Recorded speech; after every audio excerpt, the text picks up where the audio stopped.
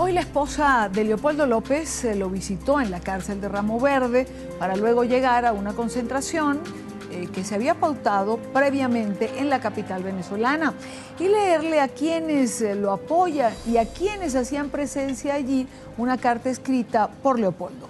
Daniela Zambrano en Caracas tiene esta información. Daniela.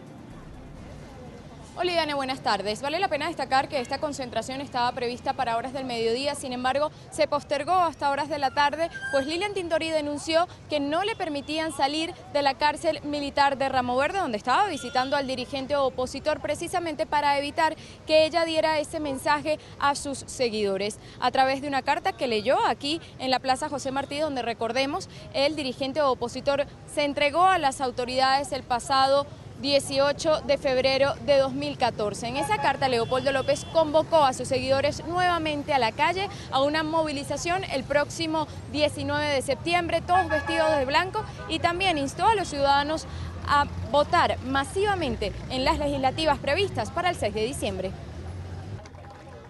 Hermanos y hermanas de Venezuela,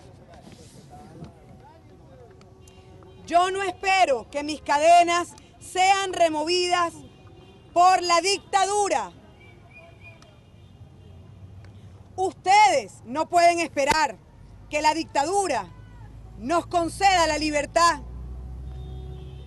Por eso los convoco desde hoy con mis hermanos de la unidad a que salgamos el próximo sábado 19 de septiembre a construir nuestra victoria.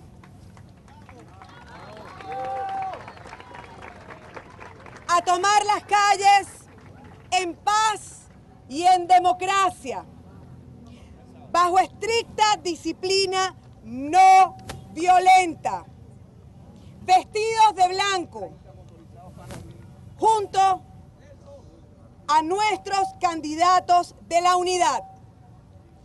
Que el próximo sábado se convierta en el inicio del camino que abrirá las puertas del cambio el 6 de diciembre. Lilian Tintori también denunció que Leopoldo López fue puesto en un calabozo de 2x2 con la luz apagada durante toda la noche y que estaba totalmente aislado en una torre de la cárcel militar de Ramo Verde.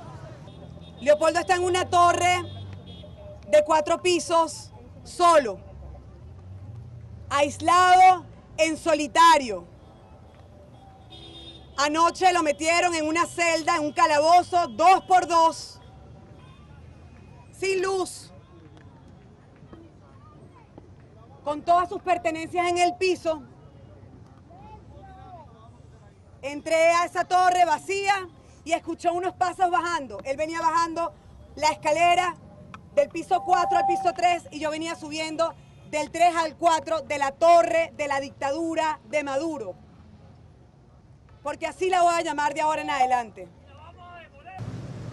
Conversamos también con el abogado Leopoldo López, Juan Carlos Gutiérrez, nos explicaba que una vez sea publicada la sentencia, ellos van a apelar esta decisión de la juez Susana Barreiros de condenar a Leopoldo López a 13 años y 9 meses de prisión. La Corte de Apelaciones tendrá 10 días para tomar una decisión sobre el caso. Con esta información desde Caracas yo me despido. Muy buenas tardes.